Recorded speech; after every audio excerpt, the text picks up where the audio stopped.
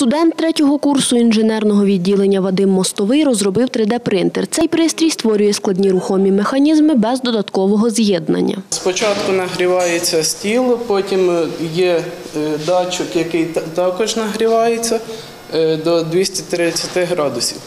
Е, Подається пластик він вигляді нитки, і вже цей пластик е, виплавляється по певній траєкторії. Вона створюється по слоям. І за один раз повністю рухомі механізми створюються. Зараз він вже має виплавляти пластик і викладати його по ось такій траєкторії. Тобто ось мотори рухають каретки і пластик виплавляється по певній траєкторії. Вадим Мостовий додає, студенти можуть створювати потрібну деталь на комп'ютері. Залізничний макет з цифровим керуванням розробка студентів відділення комп'ютерної інженерії. Про це розповідає його четвертокурсник Дмитро Дмитришин. Даний стенд створено з завдяки зусиллям студентів для того, щоб студенти молодших курсів, а саме перший, другий, третій курси, вивчали можливості роботи з мікроконтролерами та цифровим дистанційним керуванням. Стенд підтримує керування за допомогою комп'ютерів та всієї сучасної техніки. Щоб запустити локомотив, потрібно нажати решітку і тоді він буде їхати. Ось локомотив стоїть. Пішов, так? Підземний тунель. Зараз по підземному тунелю він має винирнути.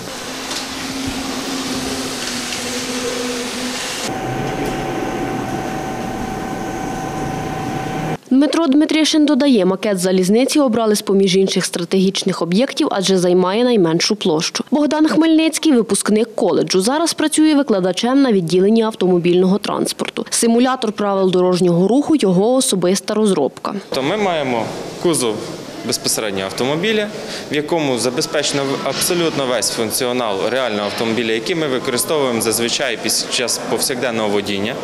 Відповідно, і е, за, за допомогою електричних компонентів всі сигнали перетворені в електричні сигнали і фіксуються е, комп'ютером. Нам потрібно здійснити завести автомобіль.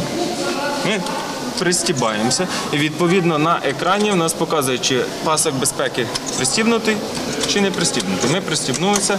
Руху при початку руху ми вмикаємо лівий сигнал повороту, газуємо і відпускаємо щеплення. Тобто все як, все як в реальному автомобілі. Коробка механічна.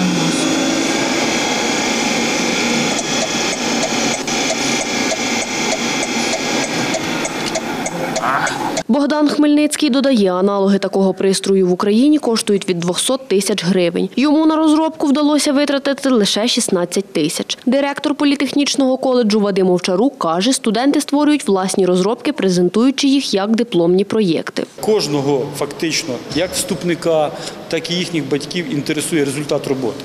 От якраз це і стало мотивацією для того, щоб наші студенти, виконуючи дипломні проекти, могли е, в першу чергу створити той дипломний проект, який е, стає в пригоді безпосередньо в житті. За словами Вадима Овчарука, у Хмельницькому політехнічному коледжі винаходи студентів експонують на виставках для вступників. Діана Колесник, Дем'ян Цегольник. Новини на Суспільному. Хмельницький.